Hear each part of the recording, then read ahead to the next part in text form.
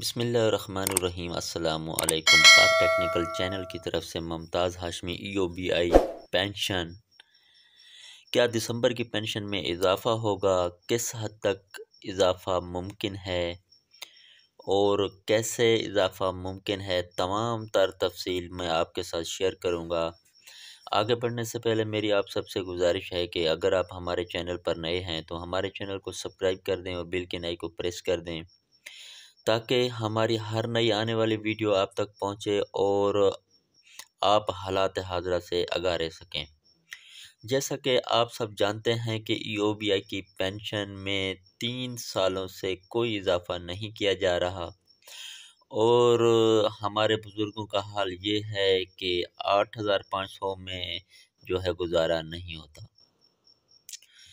वो तो सिर्फ़ एक बंदे को छोड़ो, एक बच्चे का भी गुज़ारा आठ हज़ार पाँच सौ में नहीं होता क्योंकि बच्चे के भी इतने अखराज हैं कि रोज़ाना का दो तीन सौ रुपये जो है ख़र्च कर जाता है। तो उनका भी बनाया जाए तो तकरीबन तीन सौ के हिसाब से भी बनाया जाए तो पंद्रह हज़ार रुपये होना लाजमी है एक बच्चे के लिए। तो ये हमारे हमारे बुज़ुर्गों की जो है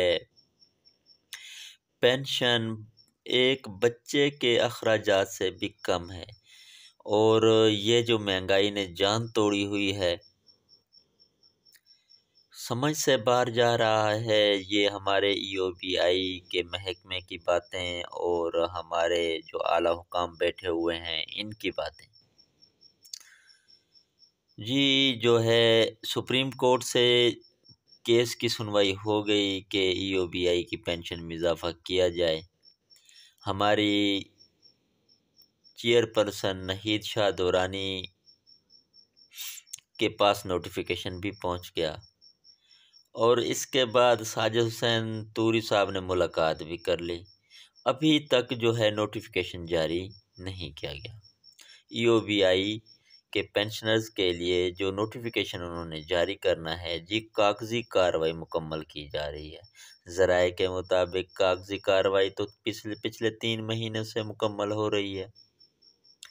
हमारे ज़राए के मुताबिक अभी तक जो है, तकरीबन 20 परसेंट चांस हैं ईओबीआई की पेंशन में इजाफे के। वो भी 15 परसेंट ज़्यादा नहीं। जैसा कि आप सब जानते हैं, अगर ईओबीआई की चेयरपर्सन नहीद शाह दौरानी साहबा अगर वहाँ से नोटिफिकेशन जारी कर देती हैं तो फिर तो पंद्रह परसेंट मुमकिन है, वरना मुमकिन नहीं है। हमारे ज़राए का कहना है कि बहुत जल्द नोटिफिकेशन जारी किया जाएगा। ये खुदा जानता है कि कितने परसेंट का जो है नोटिफिकेशन जारी किया जाता है? पंद्रह परसेंट का हुकूमत ने मंजूरी दी है।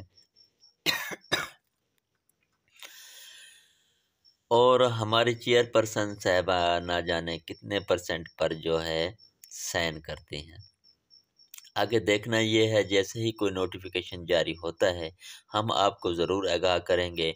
उम्मीद यही है कि हमारे बुज़ुर्गों की जो यूबीआई की पेंशन है उसमें जो है दिसंबर की जो पेंशन है, इसमें इजाफ़ा किया जाएगा। और काफ़ी सारे हवाले दिए गए थे दिसंबर की पेंशन में।